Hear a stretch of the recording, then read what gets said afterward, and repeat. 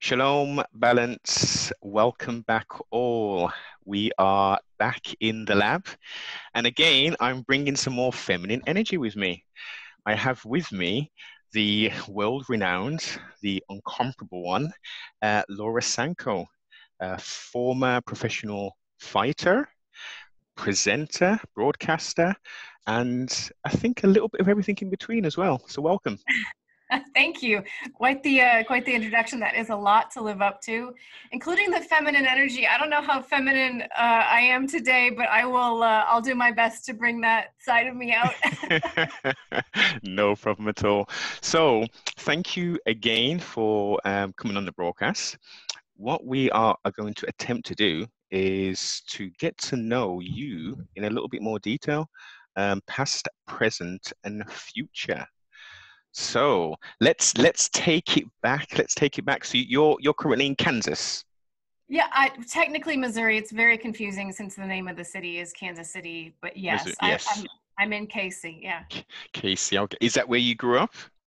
Uh, essentially, um, I moved here when I was about seven, so I wasn't born here, but I, I was raised here and have lived here most of my life. I spent I spent a few uh, years living in New York City uh, under under a different career path, okay. Um, but mostly here, yes. Okay, so so going going back, so we're we're still in early years. So growing up, what was your what was your aspirations? What was your sort of your your your potentially ideal career as as a youngster? Wow, that is a great question. In fact, I don't even know if I've ever been asked that before. It certainly wasn't this. Uh, it certainly wasn't what I'm currently doing. Um, you know, I think maybe not so much as a small kid, but in high school, I was really, really science oriented. I loved science. I did really, really well in science. Uh, I kind of, I even got sent away to one of those smart kid camps where we studied cancer and did all sorts mm. of stuff. Um, so I, I, think for a long time there, I, w- I, I thought I'd be a doctor or do something in uh, in a science based field, and then I just decided to punch people. very different transition, wasn't it? Very, very. Um, well, I guess I guess at some point through your science sort of um, growing and um, sort of learning, I guess physiology, physiology and biology must have played a part in that. I mean, possibly. I think more um, interesting. I think it's you got to dial it back a little bit further even than that i think that my um i have a, I'm a, i have a very curious mind okay. and that always lent itself to science and i think it lends itself to uh wanting to know the why of mm-hmm. everything whether that's why a certain punch lands effectively in a certain situation or why a fighter is the way that he or she is and what their story is so i just i think it all comes from this i'm one of those people where I, I can't I can't let my mind rest mm-hmm. until I answer a question. I will I will ruin a dinner out. I will ruin a dinner out by by googling on my phone because some random topic comes up that I just I have to find out about because I don't know. So yes, I think that's yes. really that's really what it is. Knowledge is power, and it clearly it seems like uh, early on in our conversation that clearly you, you you have a thirst for knowledge and like to understand new information, grasp new ideas, and stuff like that? Yeah, I do. And I think it's part of the reason why, um, another reason I, I can ruin a dinner party is because this should be the name of the show. Why Laura Sanko can ruin a dinner uh, is because I'm, I'm one of those people that is annoyingly, oh, I've done that. I've done that. You know, I, I, I have um, done, I'm not going to say well, uh, but I've done a bizarrely v- varied uh, number of things in my life, whether it's career paths or just activities I've gotten into for a period of time, and they're all over the board. But I think that's what it comes down to is something will pique my interest even a little bit, and I'll just I'll just go balls to the wall uh, okay. uh, in in like uh, discovering what it is. And I used to ride horses competitively. I got a scholarship for piano performance. Like I'm, I'm all over the place. Very varied. So if you enjoy something and you're interested in something, you, as you say, you're going to give it 110%. Yeah, that's not how I phrased it. You phrased it much more eloquently. Thank you. um, so based upon that, then let, let me let me take a wild guess. Star sign wise, based Ooh. upon your what you've just said, could you possibly be? I'm going to go for two. My first thing I would say would be either uh, would be Gemini. No. The second one would be a, a Capricorn. No. Okay. Okay. totally wrong. Okay. It's all right. I was, I was, I was so ready with the clapping. I was so ready. I was so ready. I'm a Sagittarius. Sagittarius. Okay. Yeah, December 7 is my birthday. Early. Okay, that makes sense. That makes sense. Okay. I don't know much about the signs. Does that mean I'm a blend? Like, am I early in the? Exactly. What, what You're early oh. in the cusp. You're early in the cusp, so you can have traits of Cap uh, of, of, Capricorn as well. Um, okay. But yes. Okay. Okay. So moving forward, what what was the what was the moment or the catalyst that made you say, I want to, as you say, punch people in the face and possibly submit them?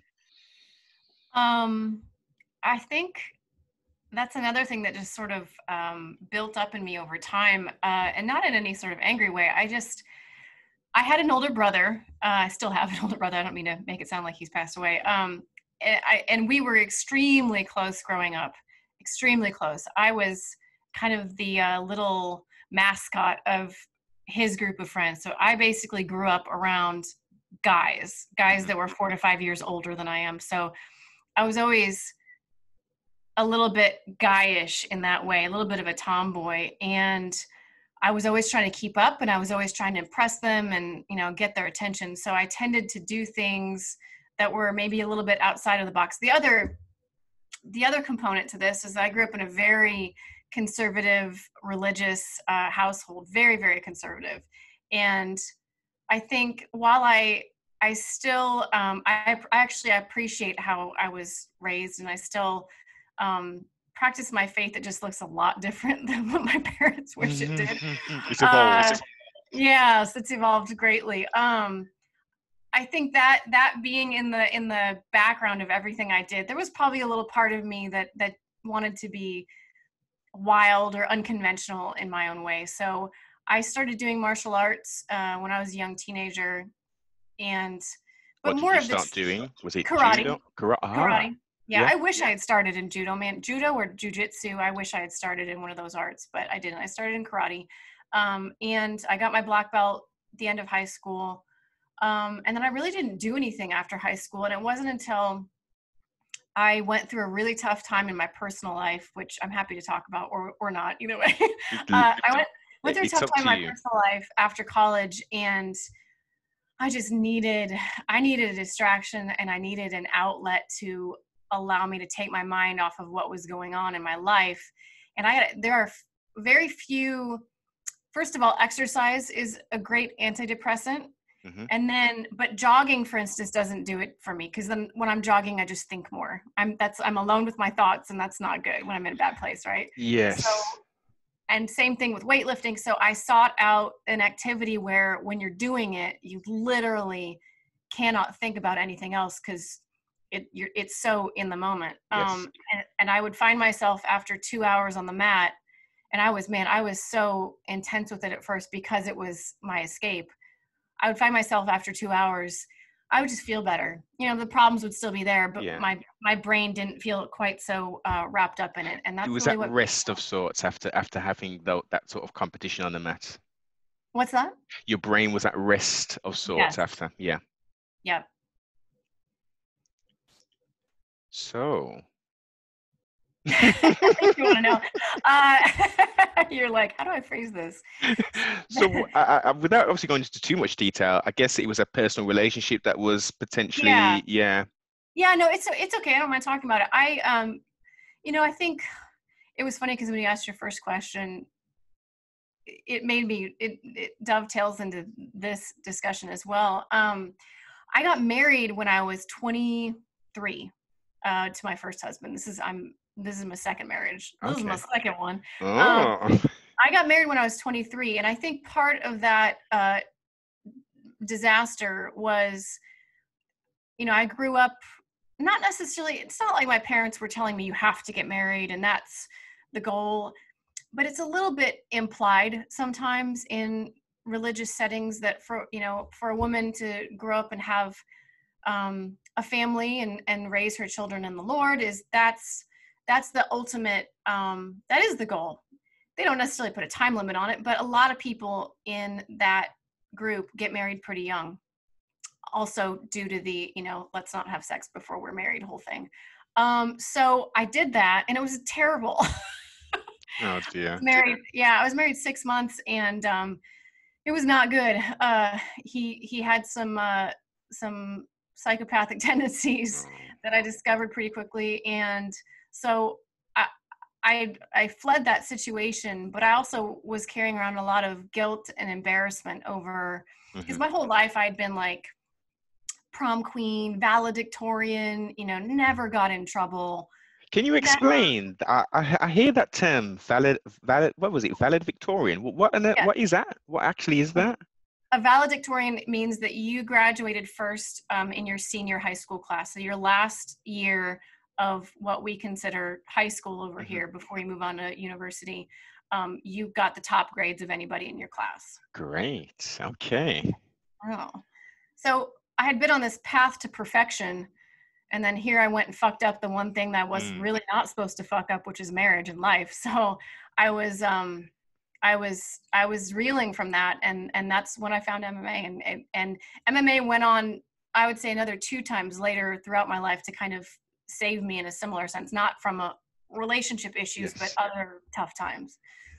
It, it, it's your quote unquote safe and happy place. It really is. It really is. Which which sounds weird to people who watch it on TV and only see it as violence, but yeah. it's it's it's a lot more than that for sure. It is. It really is. And and these are one of the the, the reasons I like to to have conversations with presenters, former fighters, current fighters, just to not just hum, um, humanize them, but to re- let people understand that there is a really bigger picture out there and people are very diverse and do things for very different reasons um, and ultimately, it's about the drive for competition, um, yeah. for success, um, and to ulti- ultimately to win.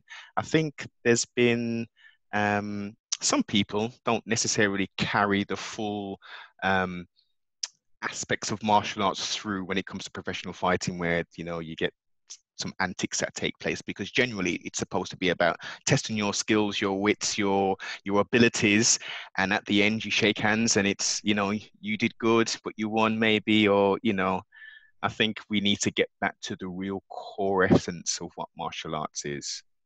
I agree with that. It's it's it's beautiful um when it's done that way. And i i had a lot of reservations about allowing my son to watch MMA a whole lot when he was little. Just I'm not overly protective, but it's just it can be a lot when you don't really feel like they understand what's going on. But mm-hmm. it just I watched so much of it and it's such a part of my life that I realized it was going to be impossible to keep him from watching it with me. So I kind of went the other way to where no matter what's going on, I just don't allow it to be a big deal. And I've I've talked to him a lot about how, you know, this is not the difference between this and violence mm-hmm. is that in a violent act someone doesn't want to be there. Someone someone is aggressing toward another person and that person who's being um, ag- aggressed upon i'm sure that's not even a verb um, doesn't want to be there and and and wishes they were not in that situation. And that's not the case here. And so i always point out to him the fights where after they just are going to war they're hugging each other and i said see this is not that's you wouldn't do that if this was a violent situation. So i agree with you. I think that that's some of the most beautiful moments in mma are after a hard fought fight and sometimes a lot of trash talk in the build up to it and then it's just gone because it was released. Yes. Uh, that's a key word. It's released in that moment in that in those 15 minutes or those 25 minutes. It's yeah. it's put out there. You've bore your everything. You've potentially even um, not just sweat you've exchanged, you've exchanged blood as well. So that is as close as you can get to someone in uh, a physical sense, um, you know, battle wise. So yeah, I think more people need to, and also that's the end result of months of years of training, multiple different disciplines, grappling, wrestling, jiu-jitsu, boxing, kickboxing, whatever, and then your specialist type stuff. There's a lot that goes behind before we actually see that finished pro- um, product and so much. so so much and then as you say the the self promotion of the fighters trying you know trying to get their name out there so they can you know potentially climb up in the ranks and get fights that they you know that they that, that they want rather than you know getting other competition uh, it's a it's a balancing act it really is a balancing act um, and i think with the right team and the right clearly mentality you can you can be successful. You can be successful. I think that f- for me um i'm starting to realize a lot more now that the fighters need to be a bit more selfless um in respect to what they're actually doing and what stage they're on whether it's the ufc whether it's bellator pfl one championship. You know you've got a you are fulfilling your dreams you're getting paid trustfully as much as you know uh, you're worth. But you're also a, a, potential role model to thousands and thousands of people and that's a that's a big responsibility. Some people wear it well other people it's it's it's challenging. It can be challenging. Yeah i i, I agree with you. I think um i think a lot of fighters are are becoming more and more aware especially with the prominence of social media these days of how important their platform really is. You know, you see people like Dustin Poirier or uh, Francis Ngannou have these incredible charities that they have. You know, this career has allowed them to give, and certainly that's not the extent of the list. It's just two people that come to mind. Mm-hmm. This, you know, this platform allows them to really give back in a way that otherwise uh, they wouldn't necessarily have the, the, megaphone, you know, to be able mm. to do. I will say though, I think as much as I would love everyone to have this very spiritual martial arts only approach to MMA, I I do appreciate and I don't mind the the mixture of personalities and takes on. I think people can cross lines, and I I don't mm-hmm. love that, of course, but I do think it takes all kind. You know, I um I look at the the Jorge Masvidal's and the Colby Covingtons of the world, and frankly, the storylines wouldn't be nearly as interesting if we didn't have mm-hmm people um, that rubbed us the wrong way or people that inspired us in a maybe you know i'm thinking of jorge here where like i wouldn't necessarily call him a role model but he's real. And that that part of him i very much look up to. I mean that guy is literally what you see is what you get every moment of the day. And when it comes to someone like colby i don't love how he promotes himself but i also i do appreciate it. And i've spent I hate to ruin his his game here, his charade, but like I've spent time around him a little bit when the cameras are not rolling. Mm. And he is one of the easiest people to work with. He's so nice. He's so polite. Uh, he's low maintenance, which you would not expect him to be. So I, I, I can also get behind some of the showmanship and, and the characters mm-hmm. uh, that the that MMA brings out in people.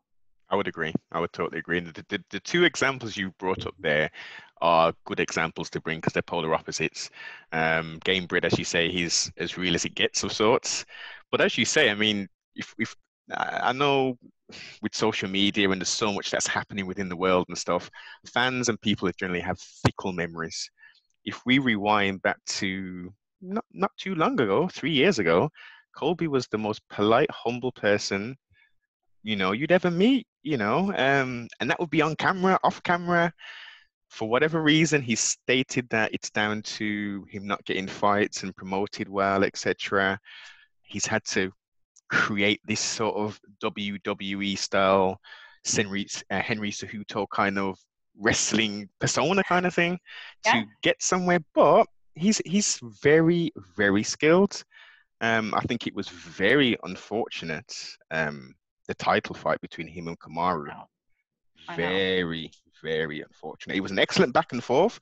I did expect them to mix it up a little bit more, but clearly both was worried about each other's wrestling prowess. Yes. Um, but I just think, I really think, and I know it's sports entertainment, and the there clearly seems to be a bigger focus on the entertainment side versus the, the sporting side. I think really, based upon the controversy, that should have been run back as a as a part two. I know it's still there in the future potentially, you know, um, but that should have been that should have been a part two. It was so late. What was it? 20 sec, 40 seconds, 20 seconds at the, the fifth less, round? I know it was less than a minute. I know it was less than a minute, and man, and it was such a good fight up to that was. point.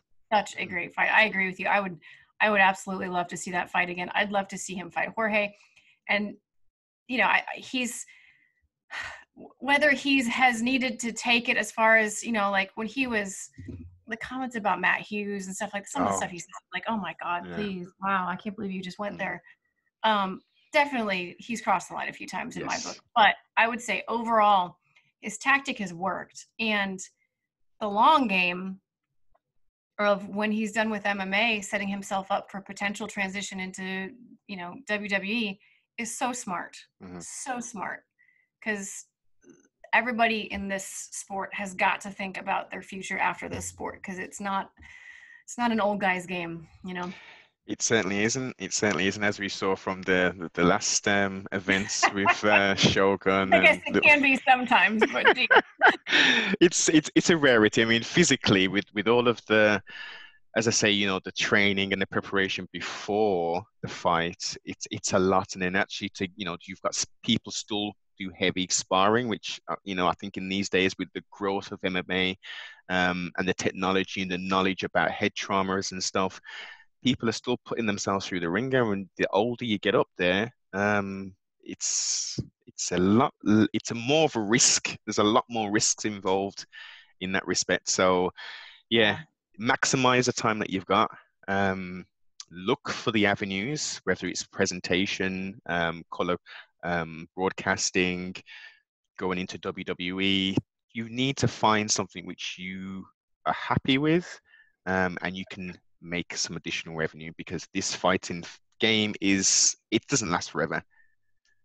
It really it doesn't. doesn't. And uh, it doesn't. And most most fighters are not going to have the type of financial windfalls that allow them to set themselves up for the rest of their life. You know, I think Jon Jones could probably retire and not have to work again, but that's that there's only a hand people handful of of fighters that I think could really say that and feel like they've just set themselves up for the rest of their life. So people have to think about the vast majority of the roster has to think about life outside of MMA and it's tricky because when you're in the sport and you're consumed by it, it's the only thing you see. It's the only thing you love. It's the only thing you want to do. And um, coaching and running a gym is is tough, and not everyone is capable of making that a success either. So well, that seems to be one of the. It seems like a, a natural progression. I love, you know, fighting, training. I'm technically good in certain areas. Why not open up a gym? It, it, seems like a natural progression, but from what you're saying and from the the conversations I've had, it, it's a very tough game. Cost wise, your overheads, paying in, you know, staff and stuff like that. It's not as easy as some people think it might be yeah i there's very there are very few people i feel like that have done that truly successfully and i'm i'm fortunate enough to be i feel like involved and friends with one of the better examples of that in james krause you know oh, his oh, yes. his gyms and his i mean his series of uh series of gyms i should say because there's he's got the main one and then sister gyms that he started beyond that that he uh, shares ownership in it's pretty incredible and anybody who um has questions about their future and and and what whether they should open a gym or not or what they should do. I mean, he is such a good person to look to as an example and reach out to him. I mean, and ask him questions because it's funny. I, I live actually about I don't know maybe half a mile as the crow flies from him. Wow. Even though I live on a ranch, he lives. He just bought a million dollar house um, on the lake. That's uh, that's just a ways off from me. So from where he came from, which was you know a trailer park in a really shitty town in Missouri, to to where he is now is is awesome. It's been nothing but hard work. It takes it takes a really it's a certain type of personality, not just a love of MMA. It takes a certain type of personality to be able to uh, be an entrepreneur and really run a gym like a successful business. I mean, you can you can love MMA, you can even be a good coach, but to run a successful gym is a whole other skill set that's not for everybody you are excuse me you're indeed correct it's it's running a business, gym, whatever it is, it's it's many people can do that, but to run a successful one, that takes a special person, a lot of sleepless nights potentially, long hours, dedication, and uh, everything in between, kind of thing. Absolutely, a lot of time away from the family too, unfortunately. Repeat that again, sorry. I said a, a, lot of time away from the family as well. Oh. I mean, there are a lot of sacrifices that you know yeah. he and wife make to to make that gym successful. Definitely, definitely. So going back to your your fighting career, where did how did that how did that start? Did you start? Um, I guess you would you have to do amateur a few amateur fights before yeah. you go? Okay. Yeah. So um so like I said, I started training um just as a distraction because I wanted to learn another martial art that was less, you know, chopping at the air, mm-hmm. more contact. And uh, I just fell in love with it and was I was fortunate at the time that where I started training, I was essentially getting a four hour private lesson every day for the first year. I, I mm. kind of ran into a Kansas City UFC OG by the name of Rob Kimmons. He was one of the first fighters out of this area to make it to the UFC. And it was just by happenstance that I came across him and his main training partner and they allowed me to kind of like shoehorn myself in there. I had to beg him for a while though. It was not an immediate like, oh yeah, you can sure sure you can come train with us, random small girl. Um, it took a lot of like convincing him them that I was there to work and I really wanted to learn. But once they let me in, it was like I said, it was I was getting so much. It was just us, and mm. I was getting so much one-on-one instruction, and I was there all the time. So uh, I feel like I picked it up, and then I moved away to New York City and trained there for a few years. And then when I moved back to Kansas City is when I joined um, what is now Glory MMA and Fitness. It had a different name at the time. And back then, James was just a, uh, a teammate. Mm-hmm. But the whole the the the culture of the gym was like fight. Everybody here fights. You know, it's cool if you want to come here and work out, but come on, like let's get you a fight. And I, I kind of took them a while to talk me into it, taking one amateur fight. They were like, oh be a good you know story to tell the grandkids one day and i don't back down from a from being goaded into much. So I, I i decided to do it and then just fell in love with that feeling of um, imposing my will on someone which makes me sound a little sick in the head but she she knows she was there willingly so uh, exactly. Fair exchange. Yeah yeah no it was it was amazing. And then i, I had uh I can I had seven or eight amateur fights. I think I was seven and one. I was, I was either six and one or seven and was as an amateur. I don't remember because um, I had so many fights cancel and fall through, mm. and none of the websites have all of my fights. But I think I was seven and one as an amateur, and then uh, had the one pro fight in Invicta. How was that experience? Because at that time, that was it was a pretty new kind of organization. Yeah. yeah. It was incredible, and I'm not gonna. It was. I was thinking about it, and this is gonna make me sound petty or I don't know. But last night, um, a teammate of mine, Alexa Culp, fought had her pro debut in Invicta, and she got a second round rear naked choke. Uh, and they were showing clips of our whole gym was at the gym with our big screen. Everybody's there watching and mm. screaming, mm. and cheering her on. Back when I had my pro debut in Invicta, and I also got a second round rear naked choke finish, no one gave a shit. because like you say it was it was a new promotion and no one really knew what it meant. I mean at the time though it really was the it was the top of the mountain for women's mma because women were not yet in the ufc so um i, I it was an incredible experience. I was fortunate that most of my amateur fights took place on titan fc and even at that time it was televised on a channel here called AXS so through even during my amateur career I had cameras in my face and and kind of had the feel of a big show. We had, you know, Jamie Varner and Bobby Lashley were some of the fighters that were legends. I was on. Yeah, so like I had a little taste of um, what it felt like to be in a bigger promotion really early on. So that kind of helped with the transition to Invicta for sure. Okay, so you had your one professional fight and what made so what was the transition um between and what was the time frame in between that and your current work that you're doing So um, I won my fight and I got the finish, and I was so pumped and so excited. And I immediately got rebooked for another fight, and I started camp. And um, I really did not like how my weight cut went for that fight. It was really, really tough, really tough. And so, so. Can I ask what would, yeah. what, what sort of weight were you cutting to get down to? I weighed about I weighed then about this I still kind of weigh the same, which is about 118 walking around. So 13 pounds. I mean, I would kind of diet down and lean down to maybe 114. Okay. Um and then cut from 114 to 105, which I know sounds like not very much when we hear about all well, these. no, I just think I still think this weight cutting thing. I just I, I understand it of sorts, but I still can't wrap my head around it. I think I know I, I, am going to get slated for this, but I just think if you weigh 118, you should fight at 118.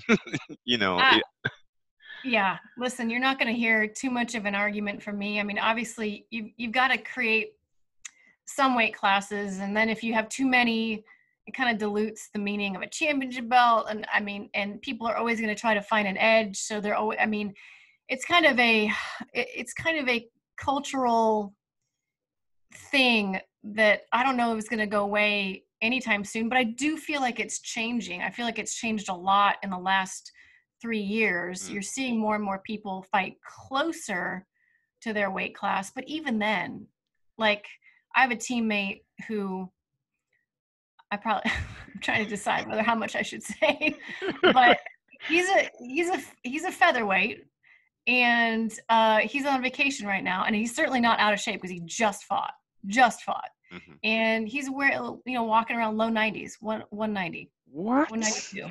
Yeah, yeah. That's now. That being said, everyone, including our coach, has been like, "You're never seeing featherweight again. We're yeah. not allowing you to do that to yourself again. You're fighting lightweight." But even then, cutting the lightweight is not easy. Yeah, I mean, you're right. You are right. I mean, you couldn't have uh, like a thousand different weight classes, but I just think, you know, I mean, I think with one championship, do they they do like hydration tests, and then you basically fight uh, around. So I think you can only cut like is it five pounds or something. So some it's a small amount of I think, weight. Yeah, that I don't know the exact um, the exact regulations that they have, but that sounds about right. Um, and they do they do hydration tests in certain states here, but not everywhere. You're, you're right that, and it's still it's still an issue for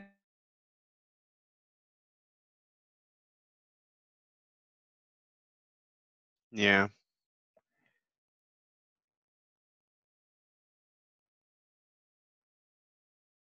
You still with us, Laura?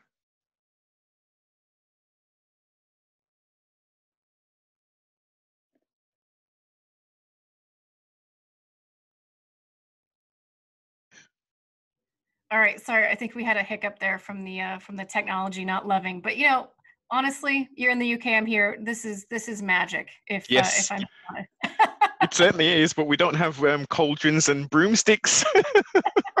You don't. I do. You just can't see it. I'm back here. I'm stirring. I'm stirring.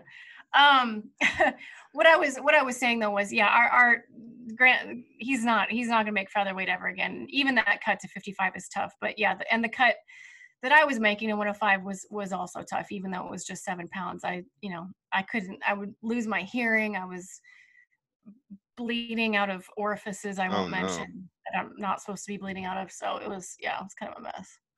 Yes, trust trustfully. I mean, uh, as you say, and there's been a last two to three years. There's been a plethora of, of um, fighters moving up um, in weight. Some having great success. Others, like Kevin Lee, for instance, he's kind of up and down, and he's got tremendous talent. I think he does. He's, he's with a good team now. He's with a good team. Um, he had an excellent victory, but I think that last one in Brazil was it Cowboy? Was it um, was it Oliveira? Was it Oliveira? Ew, you're testing my memory. This is where this is where I fall short as a uh, reporter when people ask me when or where are certain matchups in the past. My mind, it's such a jumble. Well, you because you're so far in, in, in advance, to be fair, because you're thinking about what fights are coming up as well. So uh-huh. it would be I hard. wish I had a brain that retained information in that way. My my boss is like that. He can tell you when, where, the details, I, I'm, I wish my brain worked like that. Well, you, you, your your talent is is is elsewhere. Let's put it that way. So, what what are you what would you what would you think um, dream matchup wise? If you if you could speak to uh, to Uncle Dana, um, what what matchups would you make for this year? And it, and obviously, this is fantasy, so it doesn't matter if they've just fought or they're hurt. So you can go for anything. Ooh, well, I would love to see. I would love to see Jorge versus. I mean, honestly, the fight I want to see, and I don't even know that it makes tons of sense right now, but it makes sense on a certain level. I'm dying to see Jorge versus McGregor, but I think that they will. I think that they'll probably keep that one in the back pocket because the gate on that would be ridiculous. Ridiculous. So I can see them kind of not wanting to, you know, to do that right now. I'll watch Jorge fight anybody. I think that last fight was not his greatest performance for a number of reasons, but when you watch round one, that to me is an indication of what he's capable of in terms of wrestling. And he looked damn good, if you Mm. ask me. Um, and that being said, Kamaru Usman, it's hard to it's it's hard to think of anybody that's going to really that you're like, oh yeah, he's going to go in there, he's going to take care of business. Kamaru is a tough a tough puzzle for anybody to figure out. Um, I'm super well. This isn't a dream matchup. This is happening. I'm super excited for the Khabib Justin fight. That's going to be Mm. bananas as well. Um, Who have you got? some- Who have you think about got? some female fights. Oh, sorry. Go ahead. So who have you got for Khabib and Gaethje? It's hard not just. I, you gotta have. I feel like you have to go Khabib. Almost. You almost have to. He's as been much as I am, I am sold on Justin Gaethje. So, and I have been for a while. To be clear, I have been for a long time. Um, and that last performance was magical. Exactly. I just don't know if anybody can beat Khabib. I just don't know. I- I understand the sentiment, and I would partially agree, but based upon what Gaethje was able to do to El Cucuy, and it was so hard to watch that fight. Mhm. Um, I mean, there wasn't much takedown defense, um, takedowns of sorts that took place in that fight. It was pretty much a stand-up battle. But Yeah. his calmness and demeanor that he's had, he, he's he's had over the last two fights now, I Yeah. think he's that much polished. I think he's at his peak peak now, with those chopping leg kicks that he's got. Oh my days! He uh, Khabib's got problems. Yes. And here's the thing I think about that makes Justin Gaethje's kicks so special in my mind. Justin Gaethje can leg chop you from boxing distance, Yes. almost from clinch distance. Mhm. He can the way that his hips work, and I think too, he's got shorter arms. So when he's in the pocket, he's really in the pocket, and it's incredible how he can connect with a leg kick when he's in boxing range. Yeah. Not many people can do that. Most people kick from the outside. Justin Gaethje can kick from the outside also, but he can kick when you're clinched up with him. It's Yeah. unreal. And people you don't find that so people are not used to dealing with that and that's a problem. That is a freaking problem. Do you want to get that close to Khabib? Uh, I would think not, but I think the key for Justin in that fight is going to be his ability to get off the fence because Khabib's wrestling in the open mat, to be honest with you, isn't mm-hmm. like I, I'm not my jaw's not hitting the floor when he's shooting a double leg on the open mat. He's he's obviously it's Khabib, he's really good, Yes. but where he's really really good is pinning you up against the cage and then just the the shot, the reshot, the up down, up down, and then just you know completely taking away all of your posts, your ability to defend yourself, and then just beating you to a pulp in that manner. So it's going to be a great. Now you got me all excited about that. I one. know. cannot wait. And has it's been announced as well, hasn't it? Isn't it October sometime? Yes, yes, yeah. So yes, and obviously thoughts and prayers are with the uh, the family um, for the, the the the loss of his father and stuff. So it's it was interesting to see that he he made the decision to have that that um, turnaround so quick. I was potentially thinking he would wait until 2021. Um, but can correct me if I'm wrong. Is it 100% correct that he's only doing two fights and he's going to retire? that's what he stated pretty clearly and he seems like a guy who doesn't say things Yeah. like that the heck of saying it so yeah i think two fights and then um and then he's gonna he's gonna hang it up which i applaud him for you know for doing that for getting to the mountaintop potentially Mm. and then calling it good um i think these last two fights are gonna be pretty special and I, I was with you i was i was worried that we might not see him for a long time Mm. um maybe ever you know when you've accomplished that much and you've gone through what he's been through how close he was with his dad it's not unheard of to think that that just completely changes your priorities and your mindset but it sounds like his dad's desire was always for him to be 30 and 0 yes. that's his no his new goal So Gaethje next October. Trustfully, Tony can knock one out the um out the um box, and we could possibly, if Dana can do it, do a sixth time matchup because I, I think I really really think. I mean, obviously the last performance uh, with El Cucuy was you know that wasn't him there. But just with his style that he's got, he's hittable clearly, and he's made some some comments to say, "Look, I can't get hit like that anymore." Um, I just think that Tony is just the. It's like, I don't know. It's it's that kind of style that he's got. That funk, that funk jitsu that he's got. Snap jitsu even. Um, I think that would be a very good matchup. I think that would be a, a, a good back and forth. And with those elbows he's got off his back, the submissions he's got, I think, I think we need to see that. I think we definitely need to see that before he goes. I don't think we need to have the talks with him and McGregor running it back again. I think it was decisive what happened. McGregor had some very good rounds with his takedown defense. We can't deny that. But Mhm. Khabib did what he did, submitted the guy. I think he- needs to fight people who he, he hasn't fought, fought before and get that victory. If he wants that 30 and 0, forget the rematches. I know it would it would clearly be lots of money involved if there was a, a Khabib and or Habib and um, Conor too. But I think we do Gaethje, we do Ferguson, and then he can sail off into the, the sunset trustfully with his 30 and 0 in, intact. That would be my sort of wish. That would be incredible. I it is unbelievable to me that that fight has been booked 5 times. How and the circumstances under surrounding the cancellation. I mean, I, I'm not a very superstitious person, but how can you not think that that matchup is just Yeah. is cursed? Yeah. It's crazy. Mm. It's just crazy. But I want to see it. I so desperately want to see it. I'm with you. Everybody wants to see it. Everybody does. I, I, the the quote unquote MMA gods, they've got to make it happen at some point before 2021's out. We're gonna see that poster again for the sixth time, and they're actually gonna be in the octagon fighting. maybe maybe the one thing that would go right in 2020 the one thing and, well, yeah, yeah. 2020 is a kind of a write-off, but thanks to Dana and um, the owners, you know, we've at least had some combat sports for the Yeah. last few months. That has been excellent. We had the the Bellator event recently. Today we had one championship on as well.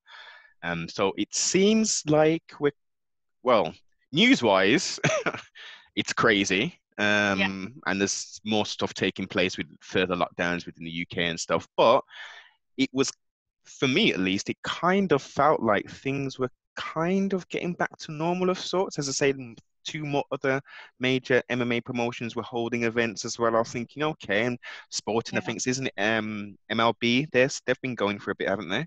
yep yep it's kind of been limping along we've had some cancel cancellations and and it doesn't feel like a normal season but yeah i think pe- things are things are slowly coming back and i don't know maybe it's the eternal optis- optimist in me but i feel like um I, I i feel like after this current oh my gosh it's happening again moment um that we will be will be heading toward more and more normalcy um it's funny because it's it it's very different here where I live compared to other parts of the United States, compared to the other other parts of the world. Um, and I, I have to remind myself that other people are, are living in areas that are much more affected by this. But where I am, and then of course me working for the UFC, I've been really fortunate that uh, other than some inconveniences, my life hasn't been um, affected too greatly. So I hope that I hope that we can all get back to business as usual soon enough. Definitely, definitely. Um, it, it's it's challenging to say the least. From you know, obviously, many people have lost businesses, lost jobs, and stuff. Um, yeah. But in stressful times, in bad times, good things can happen. So, as you say, being optimistic, being positive, um, trying to put the right things in place, I'm pretty sure we can, as as a people globally, get out of this to right side um, with as minimal impacts as we've, we were currently having in regards yeah. to the death toll. The death toll is still pretty low. Um. I mean, that doesn't bode well for people who have personally lost somebody, but you know, in the greater scheme of things, it's not as it's not as bad. It's not billions or millions of people who are dying from this this this thing. So, being positive, cup always half full. Trustfully by the end of 2020 it will be a case of whoa you, yeah exactly fingers and toes crossed. Um, I got on, I can't do it. um, it will be like do you remember that 2020 that was a strange year that oh, was. that was a weird one that was a weird one definitely so so back to your um, your fantasy um, fights i'm thinking you was going to pick a female female fight yeah um i don't I shouldn't have. I shouldn't have opened my mouth because now I'm sitting here, you know, matchmaking. yeah. I would love to see Rose and Zhang Weili. I think that that would be an incredible fight. Um, well, isn't that pretty much on the cards? Obviously, it hasn't been officially signed, but isn't yeah, that? yeah, but I, and I, I just will. I want to know when, um, it's going to happen, and I want it. I want it to actually happen. I guess I yeah. sometimes you know, I know Rose has a lot going on in her life and she's been, you know, touched by yes. what's going on a lot. So I, I, I guess sometimes when, when her name gets booked, I'm still like, okay, let's actually see it happen though. Mm. Um, but I would love to see that fight. I can't wait to see that fight. I think that Rose's Rose's technique and footwork yeah. is actually um, superior to Joanna's. I think. I mean, we saw that. Well, we saw that twice. Very good. Yeah. Yeah, yeah. But her her footwork is is really what sets her apart and her ability to find a shot at just the right moment but then you've got Zhang Weili who's just ferocious. She's just ferocious and I don't think she gets affected by much. I don't see I don't see Zhang getting rocked anytime soon. Now I I probably would have said that about Joanna before she fought Rose as well so I'm probably gonna you know have to have to take those words back but that's going to be a hell of a fight because I just I don't see Zhang being affected too much by Rose, but I think Rose will be able to get to her uh, in the right moments as long as the consistent, yeah. you know, bulldozing forward damage that Zhang can bring doesn't affect Rose too much. I think that I think that's going to be a very tough fight for Rose. Very tough fight, especially how heavy, especially based upon the Joanna fight with uh, Li. That was something out of this world. That was true heart, guts, glory, everything. Yeah. Um, and the the hematoma and your Joanna's. Oh my gosh! Wow. That fight. That fight made me proud to be a female mixed martial artist. That was like, okay, that is what we're all capable of. And to me, not we're all capable of, but you know what I mean? That that's what the sport's capable of. That to me was a real signal of where women's MMA has has come. Oh, you know, because there was a time, and I'm, and and it still happens. There, women's MMA is not at the same place as men's MMA. It's a much younger sport. Mm-hmm.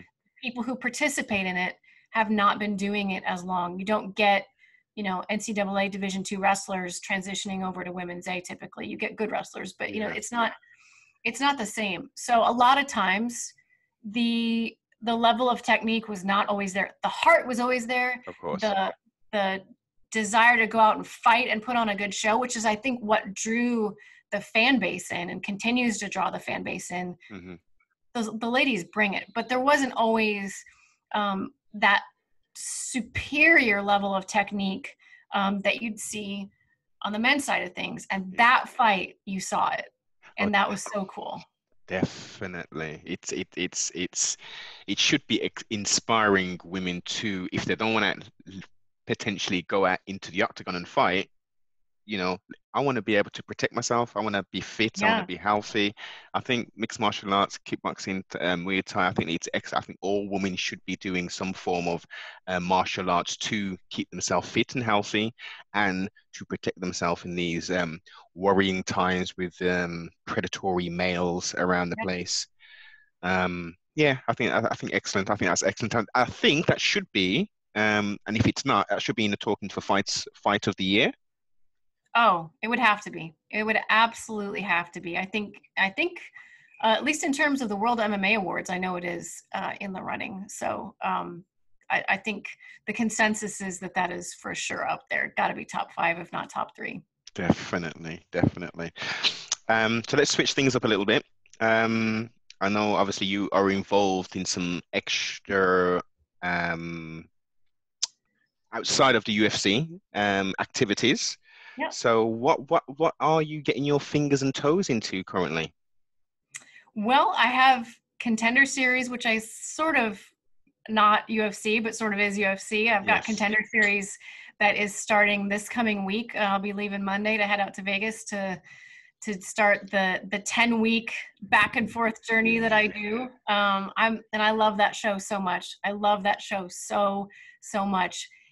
I and this maybe isn't the best analogy for a uh, for a UK audience, but here in the United States we have the NFL draft, which is even if you're not a football planets fan, it's hard to it's hard not to get swept up in the emotion of watching all these guys at home mm-hmm. waiting to see if they're going to get picked and drafted into the NFL. And to me, the contender series is like if somehow American football was an individual sport and they had to go play a game Mm. And then immediately after that game, sit there and, and wait and see if they got drafted. That to me is, is the the drama and the excitement of the contender series because those guys go out there and those women too they go out there and they fight their asses off because dana white is 10 feet away exactly. and contract on the line yes. so i've got that coming up um, invicta fc i've always Invicta is my home and it's where I got my start. So anytime my schedule allows, um, I'm back working in Invicta. A lot of times I'll have conflict with the UFC and my contract with them states that I kind of have to make that a priority. Priority, yeah. Um, but I, I actually I was looking at my calendar. I have a week coming up in September where I have four shows in seven days. Whoa. Which is gonna make that's gonna make my head explode. I have a on a Tuesday, Invicta on a Thursday, a, pay, a UFC pay per view on Saturday, and then contender again the next Tuesday. Wow. Like, oh my God, that's gonna be rough. That's work. that is work. That is work. I like that American accent there. That is work. Uh, yeah, so I've got that, and then you know, in addition to that, I try to stay busy. Um, outside of outside of work with you know my sponsors and with i have i live on a ranch uh, so life's life's all. I just had I got a puppy. Apparently, when I was in Abu Dhabi, my husband and son decided it would be a great time to get a puppy. So I'm dealing with potty training. Uh, a lot going on. so you talk about sponsorship. Let's get into some more detail about that, Mademoiselle. The, yeah, I, uh, uh, go ahead. No, go ahead. You, you continue. I, I was going to say, so I, I have two companies that um, I've really am, am super excited about. One of which I've been working with for a while, and it's a company called directhemp.com. I'm a huge fan of CBD and all of the benefits that I've seen from it. I was super skeptical about it, super skeptical. A, I don't smoke a lot. I well, I don't smoke marijuana. Um, and B, so I just kind of associated it with that, yes. and I was like, that's not really for me. And then B, it sounded like snake oil because everybody kept saying, "Oh, it does this, it does this, it does that," and my mind's like how could it do that and that? That mm. that doesn't make any sense. And so finally i had someone say listen just try it. Take it consistently for 30 days and if you don't like it you don't like it.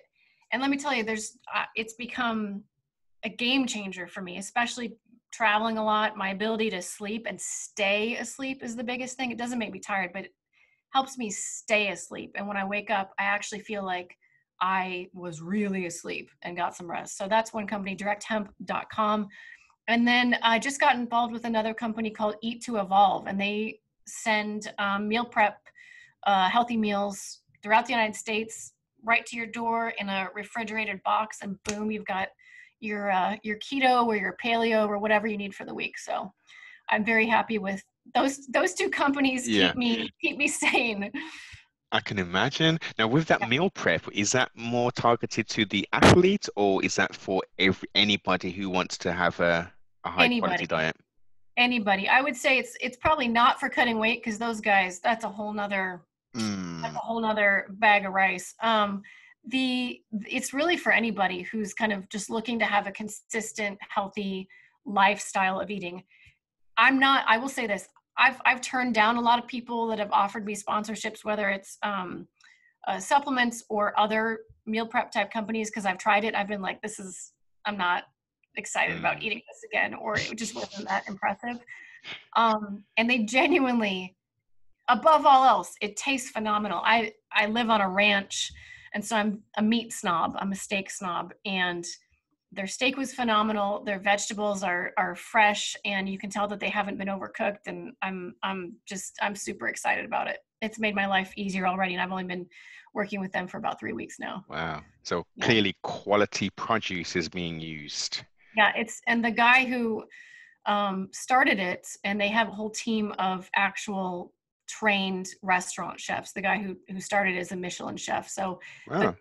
It's not just that it's good food; it's an interesting palate. Like I just had um, turmeric butter chicken, and it was incredible. Turmeric's very good for you as well, anti-inflammatory and stuff, isn't it? So Yeah. yes, good. Okay. Um, is anything else you want to explore before we wrap up? I don't think so. I just I appreciate you having me on and and having such a fun, thoughtful conversation. I don't often get to talk about the uh the origin story, if you will. That's what it's all about. That's what it's all about. Um, how can people get in contact with you, Laura? What's your what's the best social medias? Have you got websites, etc., etc.? Yeah. If you can tell us that. I'm by far the most active on Instagram, and my Instagram handle is at Laura underscore Sanko S A N K O. Um, and I do try, I genuinely try to respond to everybody who uh, either comments um, on you know one of my posts or uh, DMs me. If you give me enough time, I will eventually get back to you. As long as you're not weird to me, I will ignore it. Uh, but no, it, yeah, I, I really enjoy interacting with the fans, and that's probably the best place. And then also uh, Twitter, exact same handle. I'm not on Facebook a whole lot, to be honest with you. I should, but I just I kind of focus on Instagram. So if you want to get a hold of me, that's the best place. Well, I think they say Facebook's for the old old folk. I think I'm sure I've heard quite a lot of people saying that. So you know, you- Maybe. yes, possibly. One last thing, I've totally Yeah. forgot to. I should have asked you at the start. Sanko, where does that name originate from? Interest, you know, I think it's Czech. My husband is primarily Lebanese, though. He he's uh he he's he's definitely brown. uh, yeah, he's mostly Lebanese, but I think he's got a little bit of Czech on his dad's side.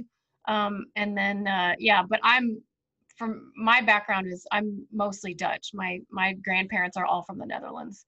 I didn't get the Ah. height though. I did not get any of that Dutch height. well, I wouldn't say all. Most. Well, you are right. You are right. The multiple times I've been to to Holland, yes, they are tall. They are tall people. Yes. have you have you been there at all? Uh, I have yeah i've been there a handful of times and there's a there's a place in the united states called holland michigan which is where my family is originally from my my parents anyway uh in grand rapids which is right next to it which it's almost a running joke how densely populated it is with american dutch people i mean the the phone book is is yeah. a joke in and of it's de young vander this vander that you know it and basically they it, the saying in uh, grand rapids is if if you're not dutch you're not much so uh, that rhymes as well. Yeah and my brother went to college there and he's only five eight i remember his freshman year he called home and he's like where have you guys sent me these women are huge i can't date anyone here and don't forget, New York was um, formerly named Yes, New before Amsterdam. New Amsterdam. Yes, you know your history well, mademoiselle. yeah It has been great conversation. Thanks very much for your time. Um, I will leave links below to all of your social medias. Um, and yes, thank you very much. Enjoy the evening. Don't forget, everybody, like, comment, and subscribe. thank you guys thank you Noble. appreciate you